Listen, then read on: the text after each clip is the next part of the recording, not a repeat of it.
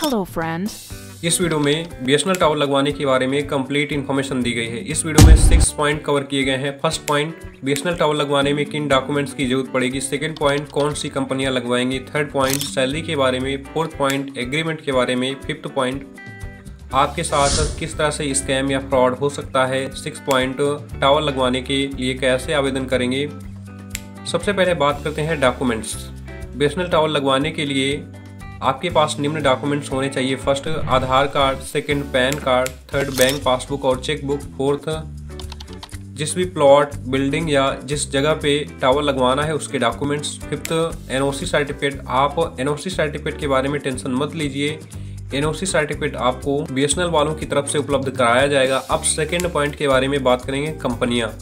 मुख्य रूप से तीन ट्रस्टेड कंपनियाँ हैं जो बीएसएनएल टावर लगवाने का जिम्मा लेंगी। First Indus tower second ATC India and third GTL infrastructure limited चर्चा करेंगे थर्ड पॉइंट सैलरी के बारे में।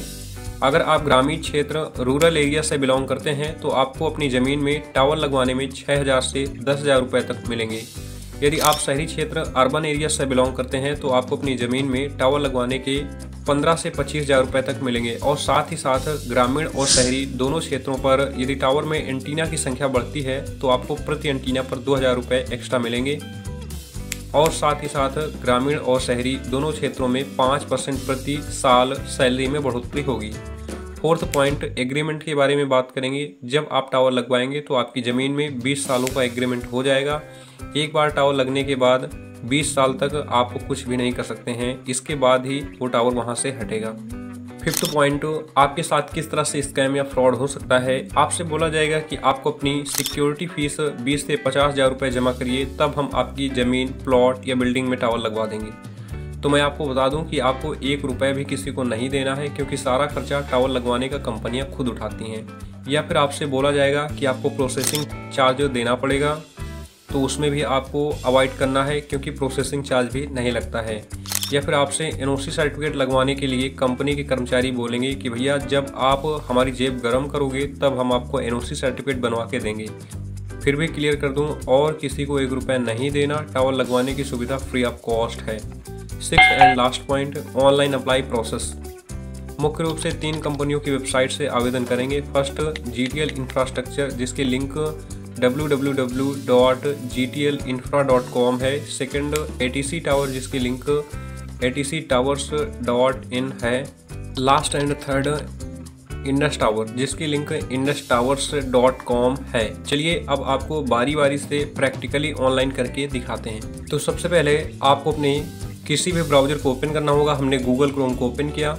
इसके बाद सर्च बॉक्स में टाइप करेंगे www.gtlinfra.com इतना टाइप करने के बाद सर्च कर देंगे।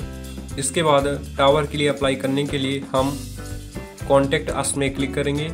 इसके बाद आप दो तरह से इसमें प्रोसेस कर सकते हैं।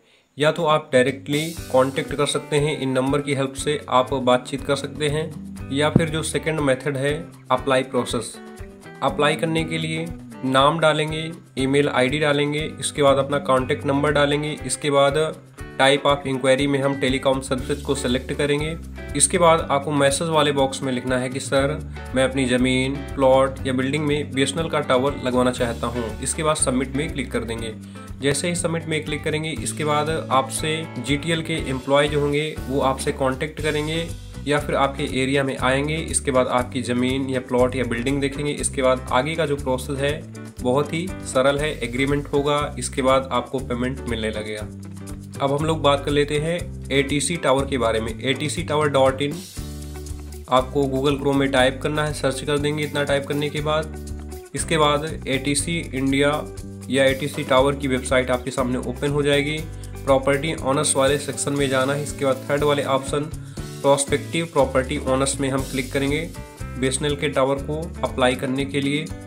इसके बाद स्क्रॉल डाउन करके हमें नीचे की ओर आना है। इसके बाद यहाँ पे आपको अपना नाम, अपना एड्रेस वो भी पिन कोड सहित। इसके बाद आपकी प्रॉपर्टी किस टाइप की है बिल्डिंग में लगवाना चाहते हो टावर या प्लॉट में लगवाना चाहते हो, ये डिटेल्स आपको कलेक्ट करनी है। ऑनरशिप के बारे में बताना है, जहाँ पे लगवा रहे हो टावर वो आपकी जो ज़मीन या प्लॉट है, वो इंडिविजुअल है या फिर जॉइंट है। या सोसाइटी का है या फिर गवर्नमेंट जो है, वो जगह है तो आप यहाँ पे आपको ये इन्फॉर्मेशन कलेक्ट कर लेनी है। इसके बाद प्रॉपर्टी कैटेगरी के बारे में बताना होगा। जो प्रॉपर्टी है, वो कॉमर्शियल है या रेजिडेंशियल है। इसके बाद आपको लेटीट्यूड एंड लॉन्गिट्यूड डिटेल्स को आपको कलेक्ट करना होगा। इतनी सारी इन्फॉर्मेशन को कलेक्ट करने के बाद इनकी ऑफिशियल जो ईमेल है land dot India at the rate A T C tower dot in इस ईमेल में आपको इन सभी डॉक्यूमेंट्स को मेल कर देना है। इसके बाद ये आपसे संपर्क करेंगे। इसके बाद जो आगे का काम है, वो बहुत ही सिंपल है, ठीक है?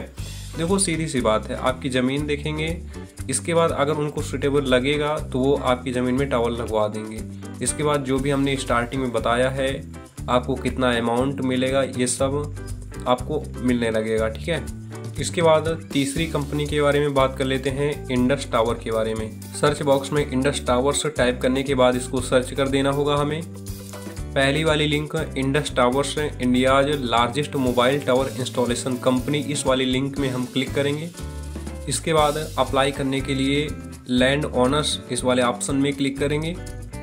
इसके बाद स्क्रॉल डाउन करेंगे। इसके बाद अपना first name, last name, email ID phone number डालने के बाद confirm and send OTP on your mobile number में क्लिक करेंगे। इसके बाद ओटीपी डालने के बाद कन्फर्म में क्लिक करेंगे। अगर ओटीपी नहीं गए है तो रिसेंट ओ वाले ऑप्शन रिसेंट ओ वाले ऑप्शन में क्लिक करके ओटीपी दोबारा से मंगवा लेना ओटीपी डालना कन्फर्म में क्लिक करना। इसके बाद आपको अपनी लोकेशन को परमिशन देनी होगी अलाउ में क्लिक करके। इसके बाद आपको अपनी लोकेशन को चेक कर लेना है। इसके बाद कन्फर्म लोकेशन में क्लिक करेंगे। इसके बाद यहाँ पे बताना होगा कि मैं ऑनर हूँ, या फिर मैं ब्रोकर हूँ, या फिर अन्य। आप अपने अकॉर्डिंग सेलेक्ट कर सकते हैं। प्रॉपर्टी टाइप में बताना होगा, जहाँ पे लगवा रहे वो वो बिल्डिंग है, या प्लॉट है, या फिर अदर है। आप अपने अकॉर्डिंग सिलेक्शन कर लेना।